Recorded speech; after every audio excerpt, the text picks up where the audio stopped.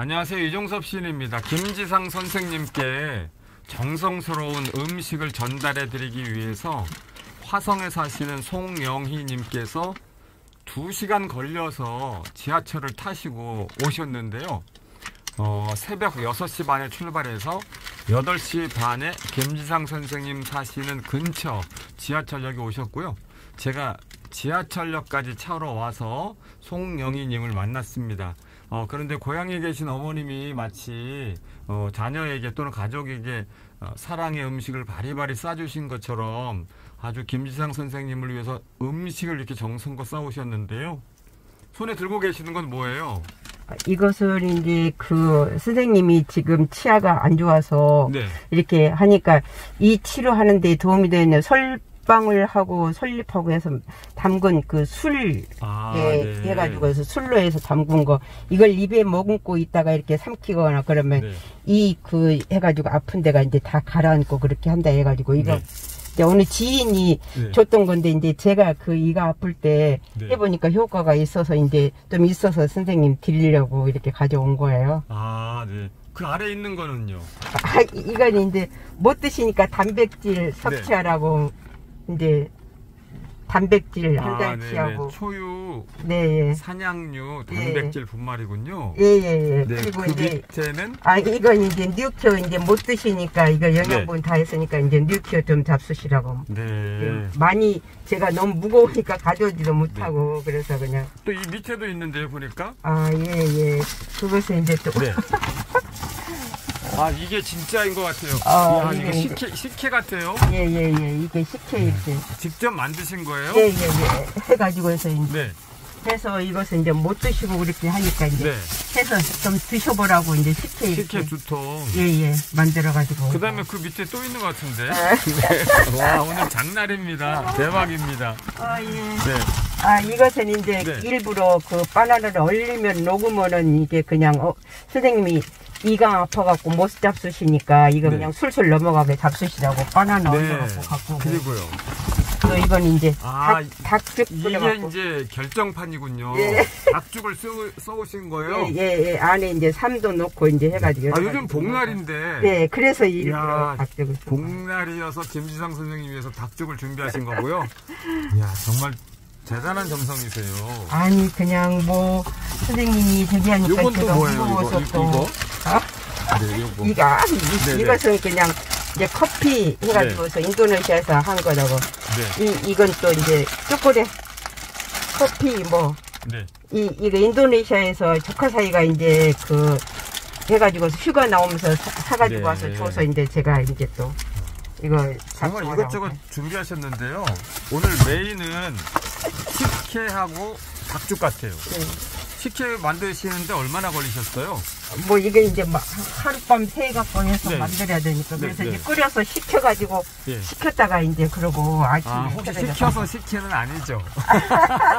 제가 그냥 썰렁 유머고요. 예. 그 다음에 닭죽은 얼마나 걸리셨어요? 만드시는데. 그거야 그냥 뭐 시간이 이제 되니까 제가 또 집에서 네. 이렇게 해가지고 하는데 뭐 그러니까 어제 그냥 내 시간 이거 해가지고 사느라고 그냥 네. 소비를 한 거죠 뭐. 아, 야 정말 김지상 선생님을 생각하신 마음이 대단하셨는데 이런 마음이 어떻게 우러나셨어요? 선생님께서 이제 네. 뭐 그 자제분들도 가까이 안 계시고 그렇게 해서 몸이 편찮으신데 애로우실 것 같고 그래서 조금이라도 이연이 되라고 제가 이렇게 좀 마음으로 준비를 해왔습니다. 아, 아마 김지상 선생님이 이 식혜하고 닭죽 그리고 다른 이런 것들 이렇게 보시면 그냥 마음이 감동이 되실 것 같아서 마음 속에서 그냥 눈물이 주주, 주르르 이렇게 나오실 것 같은데요. 아이고 뭐 그 별것 아닌데 그냥 그게 다 저- 마음이죠 정성이죠. 화성에서 이렇게 새벽 6시 반에 출발하셨으면 되게 일찍 일어나셨을 것 같아요. 원래 제가 새벽 3시면 항상 일어납니다. 원래 습관이. 새벽 3시에요? 네. 와, 대단하시네. 오늘 요즘 장마철이라서 비도 왔을 텐데. 네, 이제 아침에 좀 거기서 출발할 때는 비가 네. 많이 왔는데 그래도 여기 와서 비가 그쳐서 다행이네요. 뭐. 아, 예. 이렇게 다시 이제 쇼핑백에 넣은 거 보니까 그냥 위에까지 예. 위에까지 이거 그냥 꽉. 찼습니다. 네. 제가 그래가지고요 감사해서 네. 이제 그 송영희님께 드리려고 뭐 하나 가지고 왔어요. 뭐 를 가지고 왔냐면 아, 아니 뭐 지난 지난번에 그 김호중 가수님 콘서트 담요를 드렸을 때 예. 다른 분에게 선물을 하셨다는 말을 제가 들었거든요. 아, 그래서 제가 김호중 가수님 콘서트 담요를 가지고 왔습니다. 어떤 분이 나눔하라고 이제 주신 게 있어서 아. 자 이렇게 예, 소- 아유 아니. 네. 이거 해가지고 또 애써서 이렇게 다른 분들 선물하신 걸 또 저한테까지 주셔서 너무 감사합니다. 나눔하라고 네. 주신 거거든요. 네 우리 호중님 지난번에 감사합니다. 이제 드렸는데 네. 또 그거를 콘서트 담요 안 가지고 계신 분에게 이렇게 드렸다는 아우 말씀을 저에게 언뜻 하셨잖아요. 네. 그래서 굉장히 참 착한 마음, 좋은 마음, 아유, 선한 마음 가지신 것 감사합니다. 같아요. 아, 김호중 가수님 콘서트 담요 이렇게 막 얼굴에 대시고 볼에 대시고 너무 좋아하시네요. 사랑해요. 아유. 네, 그럼 진짜. 김호, 마지막으로 김호중 가수님 응원 말씀 한 말씀 하시죠. 네.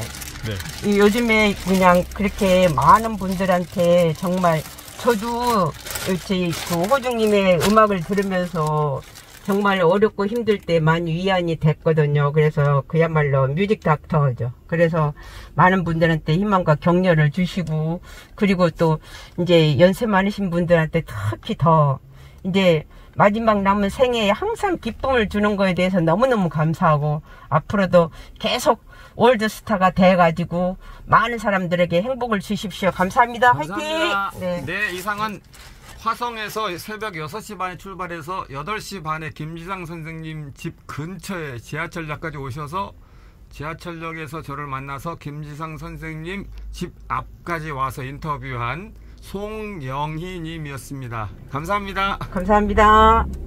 행복하십시오.